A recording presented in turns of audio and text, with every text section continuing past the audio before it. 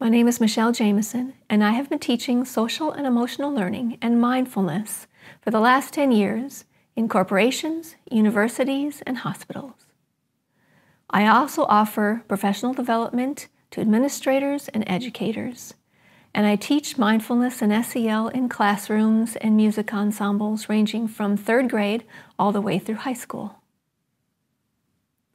After seeing the great positive impact that these skills have brought to students, whether it's improved academic achievement, developing deeper relationships and communication, developing skills like self awareness and self regulation, or improving focus and concentration, I feel inspired and compelled to share this knowledge with you. As teachers, the care and concern that we have for our students extends well beyond the classroom. We all know how important SEL is for our students. And the question I want to answer today is how? How do we bring these important skills to our classrooms? How do we integrate SEL into the music curriculum? Once you see how easily it is to integrate SEL into the music curriculum, you'll be able to notice opportunities and see where you can put this into your lesson plans until it becomes automatic and the habit of integrating SEL into your music lessons will become second nature. These skills are important for our students, not just in our music classrooms, not just in school, but they'll transfer through to the rest of their lives. And who else to bring these important skills to them but us? I'd like to start with a quote. Carl Orff talks about music instruction in this way he says music begins inside human beings, and so must any instruction. Not at the instrument, not with the first finger, nor with the first position, not with this or that chord. The starting point is one's own stillness, listening to oneself, the being ready for music, listening to one's own heartbeat and breathing.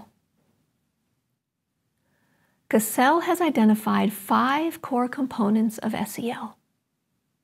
The first two deal with the self and our personal responsibilities of self awareness and self regulation.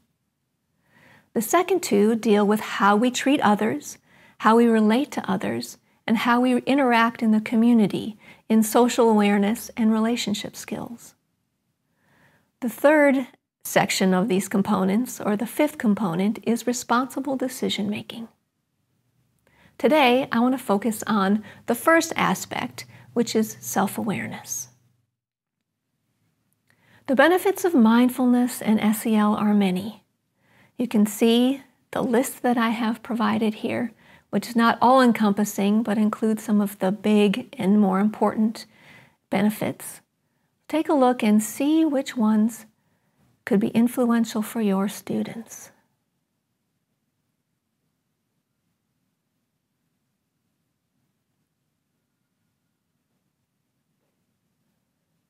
Just like me, I bet you wish this for all of your students.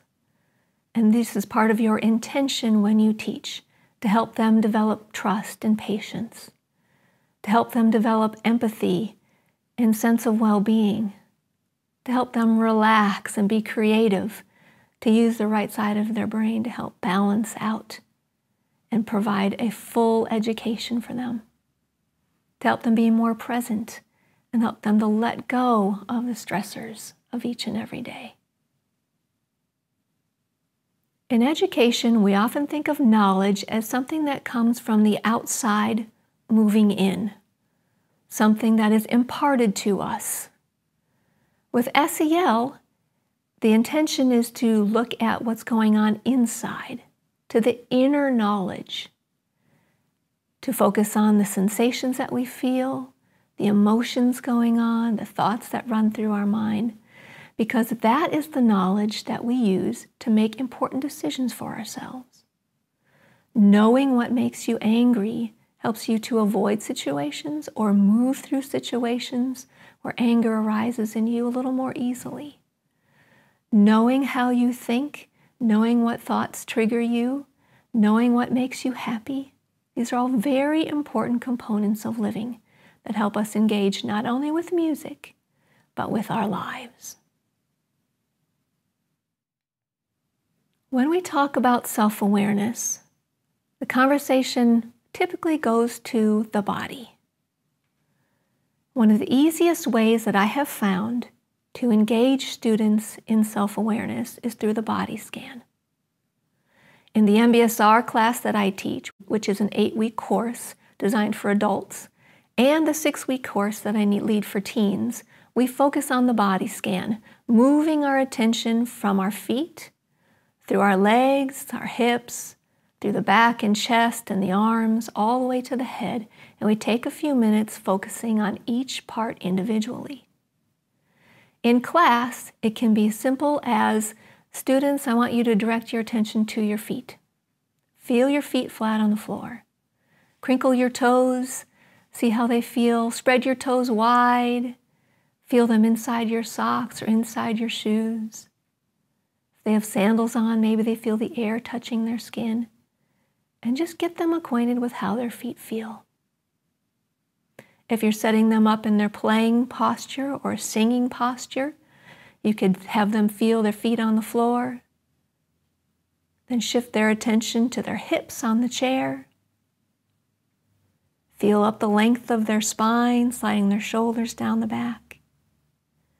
And then direct their attention to their hands or to their face as they get ready to play.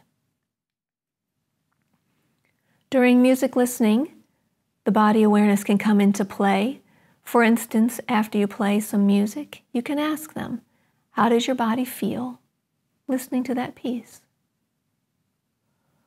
Or what did you feel in your chest when you were playing that passage? Or how do your lips feel?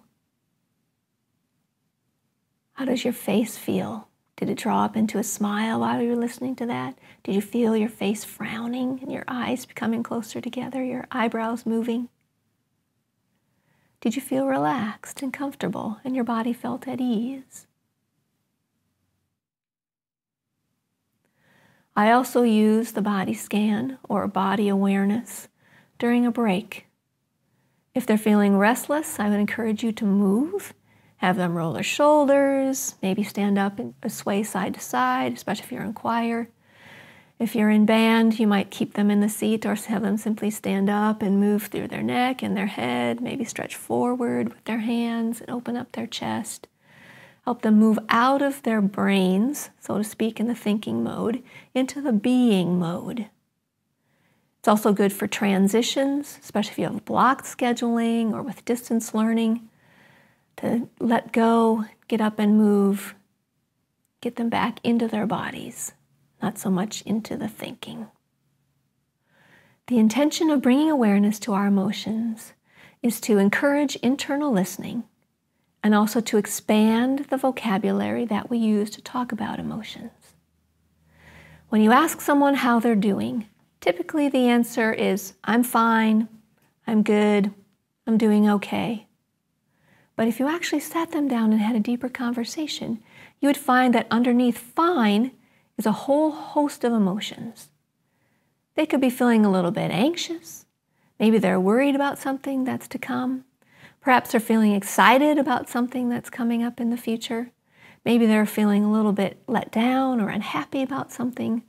But there's a rich tapestry of emotions going on at all times.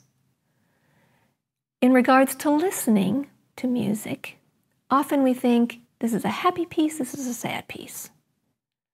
So the emotions are limited. We have the top six or eight emotions excited, sad, angry, maybe a little sick, bored, unhappy, happy, or surprised. But can we go deeper? During distance learning here in the spring, I offered my students listening activities and when I asked them how the piece made them feel, these are the typical answers that I got, which is to be expected because they haven't been asked to really evaluate and listen critically to what's going on.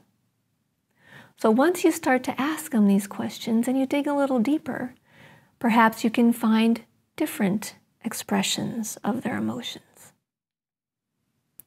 For example, underneath sad, would they feel heavy? Did this piece make you upset? Or sorrowful or mournful? If it was a happy piece, what is was it delightful? Was it charming or pleasing? What about loving or joyful? Don't be afraid to be very specific when you're asking for these kinds of emotions. You're developing a rich tapestry for which they can talk about and communicate. Once they can verbalize how the pieces make them feel, then start to get even more specific. Instead of how did this piece make you feel, how did the soaring trumpet line at measure 12 make you feel? How did the timpani part that came in at the very end of the piece add to your excitement? Or how did it accentuate what you were feeling? How did it change what you were feeling? Once we can get them to look at the minute changes and alterations in what's going on in the piece, they can start to transfer that into their own playing or their own singing, their own musical expression. And also, don't be afraid to allow time for silence. When you ask them to internalize and do some digging into how they really feel, they need time to look. So, when you finish a listening example, for instance, allow some time to lapse. So when the last sound fades, open some space.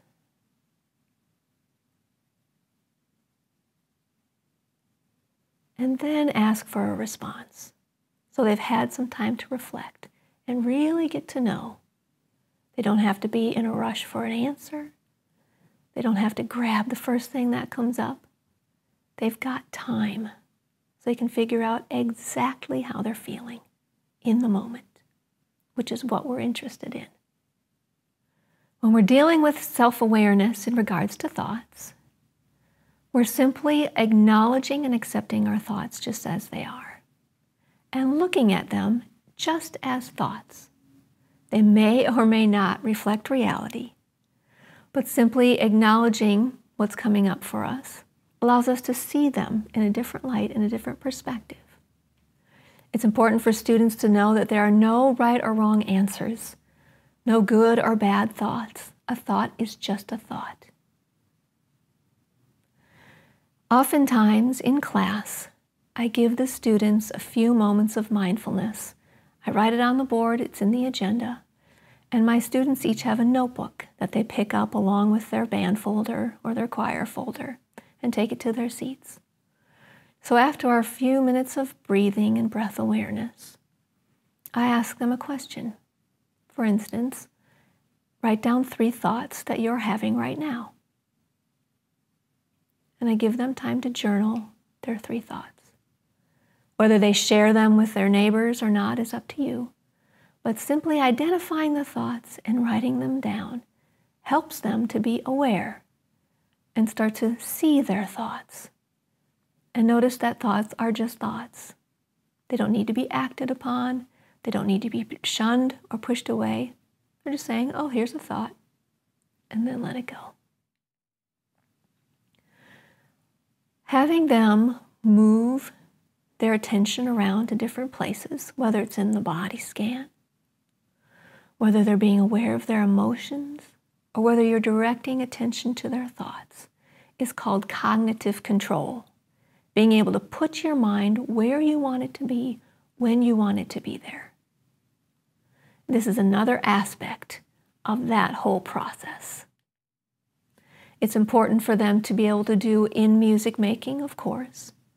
It'll help them to quell their performance anxiety, help them to be in the moment, but it will also help them when they're taking an English test, when they show up for a job interview, when their parents are trying to get their attention, and they're playing a video game. All different aspects of their life, cognitive control is an important part and an important skill for them to develop. Another aspect of the three thoughts could come when you're doing a listening activity. For instance, you could listen to a piece and afterwards say, please write down three thoughts that you were having while you were listening. Or write down three thoughts that you're having now that you've heard the whole piece. What does it make you think? Or what do you think the composer was thinking when he wrote this piece? And add some empathy along with it.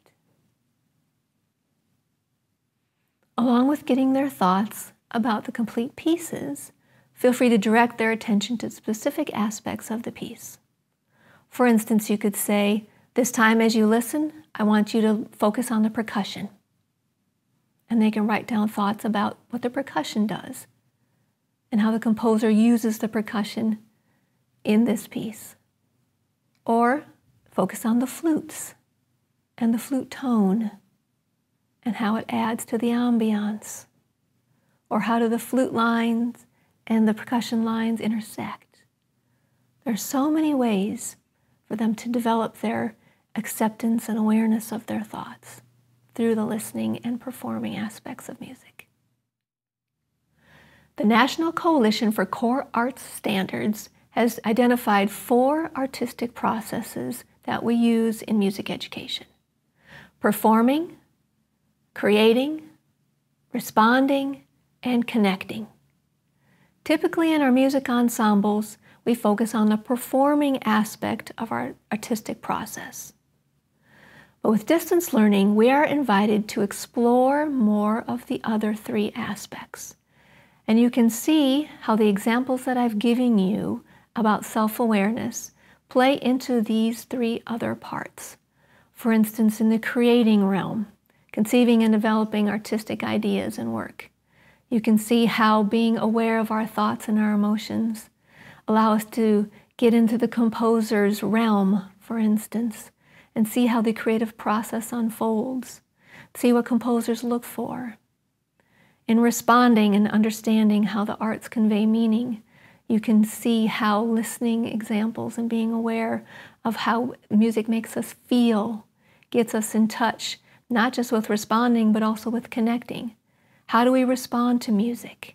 And how does it connect us to each other, to the composer, to people all over the world? How does this common humanity play a part into what we do each and every day in our music making? We relate it personally. How does it make you feel? We see how it makes our friends feel, our colleagues, our teacher. So, empathy, compassion, connecting, collaborating all come into play here. So, I hope you feel free to explore all these different realms as you see how SEL is integrated into our music education system and how you can use SEL not just advocacy for our programs, but to help expand and illuminate music and our students' lives. Finally, I've created a short practice to help develop the skills of self awareness. The link will take you to a three minute breathing space, which you can use for your students as well as for yourself, perhaps before you sit down for a day of distance learning maybe after your teaching as you transition to your family, or anytime you simply need a few moments to breathe. You can find me at musicandmindfulness.org if you have any questions or need some resources want to learn more about how to integrate mindfulness and SEL into your music curriculum. Thank you very much. Have a wonderful day.